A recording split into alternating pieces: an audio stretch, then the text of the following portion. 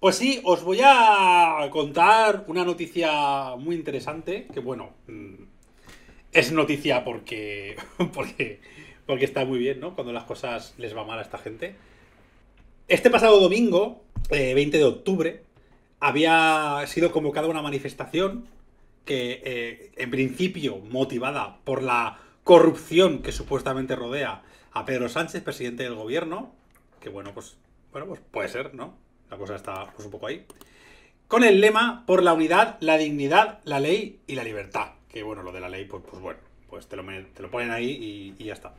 Y ha sido convocada por la plataforma por la España constitucional. El enésimo grupúsculo mm, de intentos de unidad de la extrema derecha y de la derecha conservadora para intentar hacer algo con sentido en las calles, que se ha conformado, ¿vale? Aunque este tiene ya algo de tiempo, ha lanzado esta convocatoria, que lleva ya algún tiempo moviéndose, que ha sido apoyada por decenas de colectivos. Voy a leeros algunos colectivos porque es que, eh, es que, para, es que para reírse. Por supuesto, Sociedad Civil Catalana y todos sus sucedáneos, ¿no? Claro, es que dices, eh, Sociedad Civil Catalana se une, y claro, lo, lo ponen en el manifiesto o lo ponen en, las adhesiones cada una de las delegaciones de Sociedad Civil eh, Catalana, en plan de Sociedad Civil Valencia, Sociedad Civil Madrid, Sociedad Civil que dices, es que sois los mismos, pero bueno, así parece que hay más, ¿no? Pero bueno, vale. Está la Fundación Pien Paré, que si os acordáis, pues se fundó como en 2022, una fundación para atacar a la izquierda woke y no sé qué historias, que la, conforman eh, exaltos cargos, bueno, excargos de Ciudadanos, PP, Vox, etcétera. Están Esperanza Aguirre, Marcos de Quinto, Daniel Lacalle, Alejo Vidal Cuadras, ¿no? cofundador de Vox, Juan Carlos Girauta, bueno, toda esta serie de, gentecilla. Estaban Libertad Sin Ira, ¿no? Esta asociación juvenil que se quejó de que no podía hacer una charla en la universidad y luego resultó que no había pedido permiso, bueno, y luego eran cuatro gatos. Eh, el colectivo Resiste España, que se fundó durante la pandemia, ¿no? Que se ponían a correr por la calle a favor de España, que deben de quedar cuatro porque no hacen nada más. La Fundación Neos, que es la fundación de Jaime Mayor Oreja. La Fundación de NAES, esta fundación que fue el chiringuito de Santiago Abascal, eh, por la gracia de Esperanza Aguirre. El Sindicato Unificado de la Policía, que no sé muy bien qué pinta aquí, que bueno, ha tenido polémica recientemente por firmar un convenio de formación con Desocupa, que no sé si al final fue impugnado, no sé qué mierda pasó. Enraizados, que es una asociación juvenil ultracatólica que tiene relación con Hazte y por lo tanto la secta del Yunque. Hazte también está. Revuelta, que es una asociación juvenil eh, relacionada con Vox o vinculada a Vox, etcétera, etcétera, etcétera. Todos grupúsculos hispanistas, conspiranoicos. O sea, habían mogollón. Tú lees la cantidad de gente que va a ir, la cantidad de grupos que se han alistado para acudir a la manifestación y dices, ¡buah! Van a acudir centenares de miles de personas. Pues no. Ha sido, o sea, ha sido un pinchazo increíble. Han, eh, la convocatoria era a las 12 de la tarde en Plaza Castilla. Y bueno, es que hay vídeos, luego lo veremos más adelante, que me gustaría centrarme mucho en estas convocatorias que ha habido últimamente, eh, donde ellos mismos se quejan de que no hay gente. Y se animan entre sí a que las fotos y los vídeos que se hagan sean de manera que no se vea que falta gente, que parezca que somos más, etc. Es muy gracioso porque mucha gente eh, favorable a la manifestación, evidentemente, como Vito Quiles, ¿no? el pseudoperiodista de turno, y alguno más, llegaron a decir que había 400.000 o 500.000 personas en la manifestación. No hay... Uy, que se me cae el micro. No hay una manifestación donde hayan ido más de 500.000 personas desde el 15M. No ha habido en España otra. La más parecida, la que se conformó eh, contra la gestión de la sanidad de Isabel Díaz Ayuso, que no recuerdo exactamente cuánta gente fue, pero fue pues alrededor de entre 50.000 y 100.000 personas. Es lo más parecido. Es decir, no hay una manifestación de tanta gente desde las marchas de la dignidad del 15M, que eso fue en 2013, 2014, que se calificó de casi un millón de personas. Y de hecho, mm, incluso delegación de gobierno dijo que habían, habían sido 100.000, 200.000, o sea, imaginaos de qué cifras estamos hablando. Es decir, una manifestación que de hecho, delegación de gobierno dice que, que fueron unas 25.000 personas. Yo no calculo, haciendo un cálculo, esto es muy fácil de calcular, con herramientas como Google Maps o eh, Stream, el Stream Viewer, tú haces una, ves en las fotos de la manifestación, la gente que hay, más o menos, qué áreas cubren, calculas los metros cuadrados y en función de la separación que hay de la gente, pues tienes que multiplicar los metros cuadrados por 2, por 3 o por 4, en función de la densidad. Y te sale, a mí me salía 20.000 ¿eh? o 15.000. Una manifestación que ya os digo, la propia gente, hay un montón de vídeos de gente que ha acudido a la, a la manifestación quejándose de que faltaba mucha gente, ¿no? Hay un vídeo de un hombre que dice, ¿dónde está la juventud? ¿Qué es lo que está pasando? La juventud son unos cobardes. En fin, mm, de hecho, es verdad, o sea, no hay nada de gente joven. Es un poco lo que comentábamos en la sección anterior. Eh, que para los que nos estoy viendo en YouTube, eh, en la sección de El Foco, donde tenemos una tertulia, estábamos comentando que puede estar habiendo una brecha muy interesante entre la gente mayor favorable a un discurso conservador, ultraconservador, y la gente joven, que no se ve representada por eh, las generaciones superiores, ¿no?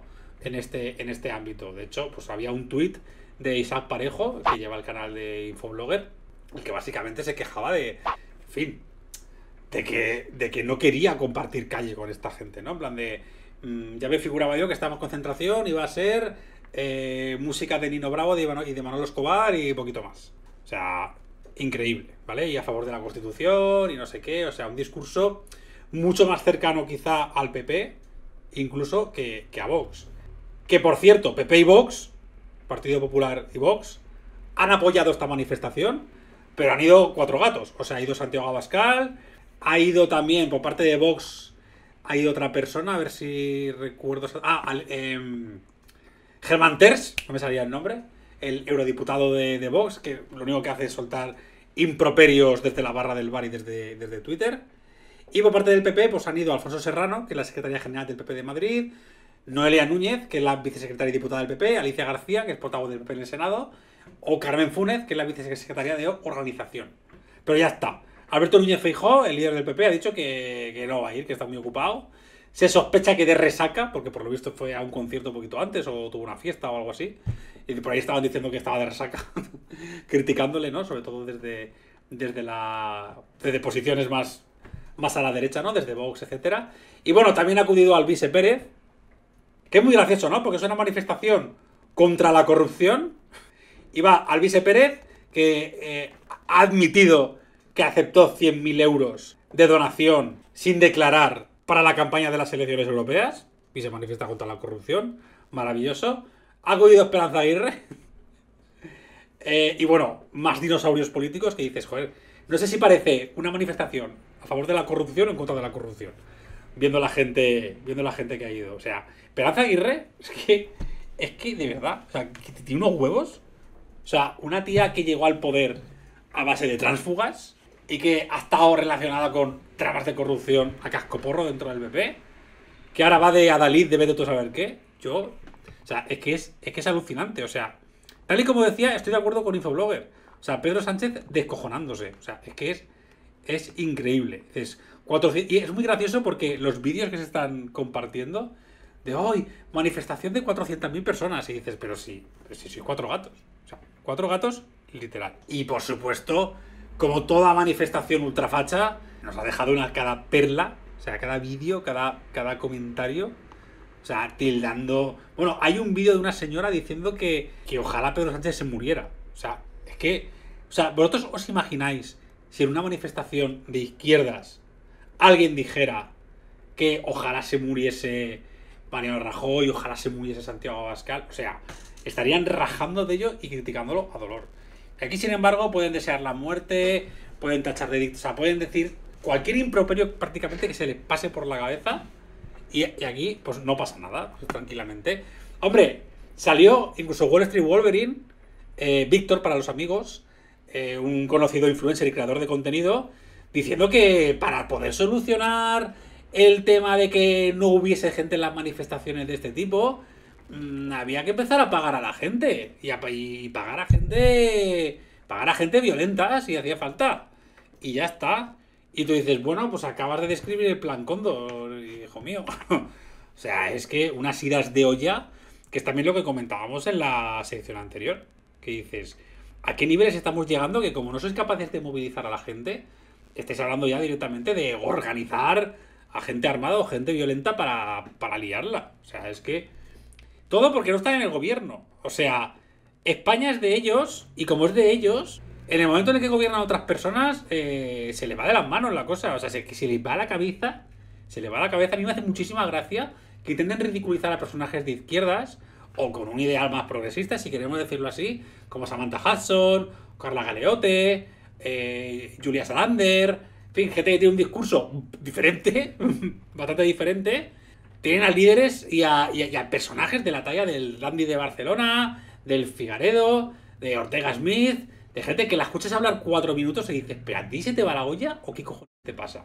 Pues claro, tú vas a la manifestación de esta gente y dicen unas ideas de olla y sobre todo cómo compran teorías de la conspiración, que si sustitución étnica, que si hay que derribar a Pedro Sánchez, que si está convirtiendo en un país en Venezuela. Hay un pavo diciendo que no tendrá más de 15 o 16 años, un cayetanito de pro, diciendo que, que es que España se está convirtiendo en Venezuela. Y dices, pero tú, o sea, ¿de qué de, qué barrio has salido? O sea, ¿de qué, dónde, qué, de, qué puta cueva acabas de salir? O sea, es que es impresionante. Y recuerda mucho a las manifestaciones de Ferraz del año pasado, donde bajo el lema España acaba de despertar hijos de puta y nos han pegado por puto defender España, cuatro gatos estuvieron movilizándose frente a la sede de, Ferraz pensando que iban a hacer una revolución. O sea, es que me parece gente, y esto lo he dicho siempre, la derecha y la extrema derecha, o gente que defiende este tipo de discursos, se defienden muy mal en las calles. Es que se defienden muy mal, que se defienden terrible. Y lo intentan, y lo intentan, y lo intentan, y es que no. Y bueno, por supuesto, bulos racistas, xenofobia, que si Pedro Sánchez está permitiendo entrar a los inmigrantes para violar a nuestras mujeres. Sea, ¿qué dices? Pero tú. O sea, ¿alguien puede decir eso de manera coherente y que no suene ridículo? O sea, es que me parece increíble. Me parece increíble. Eh, es para verlo, ¿eh? Es para verlo. Y de hecho, eh, ha provocado vergüenza ajena, incluso dentro de las propias filas, de gente que debería estar apoyando eh, esta manifestación. De hecho, la mayoría de gente, de influencers, de creadores de contenido, es que ni siquiera, o sea, no han hecho nada por sumarse a esta manifestación o por darle bombo, salvo los cuatro desarrapados de siempre. O sea, esto es así. Y esta ha sido un poco la, la noticia que, por cierto, aprovecho para decir que hace muy poquito mm, se, han estado sucediendo manifestaciones y concentraciones a favor de la vivienda, que sí que es un tema que le preocupa a la gente y por la que la gente se está movilizando. Y han sido bastante más exitosas y sin embargo se están comentando mucho menos. Eh, en Valencia, eh, ciudad en la que vivo, por cierto, hay una acampada ahora mismo en la plaza del ayuntamiento donde se están organizando para hacer una concentración y una protesta a largo plazo y no se van a ir de ahí hasta que mejore la situación. Que eso es lo que hay que hacer. O sea, luchar por las cosas que a la gente le importan de verdad. O sea, haces una manifestación para expulsar al gobierno por no sé qué de corrupción y por no sé qué. Tío, sale a la calle a, a, luchar y a pelear por lo, que, a la gente le importa de verdad. Que es por un salario digno, por vivienda, eh, por llegar a fin de mes y por situaciones que de verdad te tocan de cerca. O sea, cada vez que se, que se monta una concentración contra un partido político por cuatro tonterías que se creen que todo el mundo las comparte, luego no van ni Dios. En cambio, movilizarse por este tipo de cuestiones, como la vivienda, vamos, a mí me parece súper importantes. Y sin embargo, ¿sabéis lo que hicieron ellos? Intentar ridiculizar las manifestaciones. El Vito Quiles fue ahí, ay, la izquierda manifestándose contra la izquierda. Y dices, no, hombre, es que estáis diciendo siempre que la izquierda es sectaria y que no sé qué, no sé cuántos, y sin embargo, cuando desde las filas de la propia izquierda o gente que simplemente defiende ideas de sentido común. Si es que no te falta ser de izquierda para mm, pensar cuatro cosas con sentido común. Cuando eso sucede, entonces hay que se los tiene que ridiculizar también. Pues no, el gobierno lo está haciendo como el culo con el tema de la vivienda y con muchos otros temas. Y tenemos que salir a la calle, vamos a salir. Porque la izquierda es de todo menos sectaria.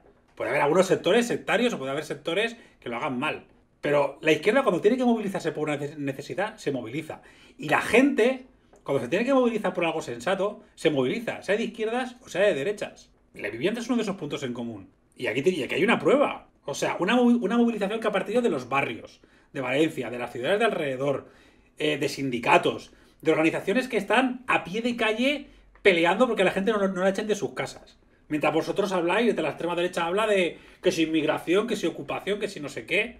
Cuando, cuando, cuando, cuando se trata de verdad de lo que le preocupa a la gente, la gente sale y la gente se moviliza. Y ese es nuestro punto fuerte. ese es nuestro punto fuerte. Y eso es, a, eso es a lo que hay que darle visibilidad. Y así, y así le va. Así le va a la, a la derecha y a la extrema derecha con estas gilipolleces. Son un puto chiste. O sea, que son un puto chiste. Son un puto chiste que durante un momento se están creyendo que son alguien y no son nadie. O sea, ¿tú te crees que Alvise Pérez yendo a una manifestación contra la corrupción cuando no, no, no acaba ni de llegar al Parlamento Europeo y ha hecho mil cosas cuestionables con no sé cuántas causas judiciales pendientes? Venga, hombre, por favor. Es que es increíble. No sé si queréis comentar alguna cosita. Es que es, una, es que son una risa. Es que de verdad que esta gente, que nos sintamos amenazada por, por gente que monta este tipo, este tipo de manifestaciones, que son, no sé qué, casi, casi 100 colectivos apuntados a la convocatoria y son todos la misma persona con distinto nombre. Hombre, que es de risa. Que es de risa y lo reconocen hasta ellos, que es de risa. Que, vamos, me parece increíble. Y eso es todo. Y es que irá mucha pena. No sé si da, no sé si da más pena las manifestaciones y las acciones políticas que hace esta gente y lo que dice, o el hecho de que pese a todo sigan ahí. Y se, se les va a acabar. De hecho, este directo va sobre esto. Va, para los que nos vean desde YouTube, este directo va sobre eso, de cómo la extrema derecha se está pegando una hostia cada cierto tiempo.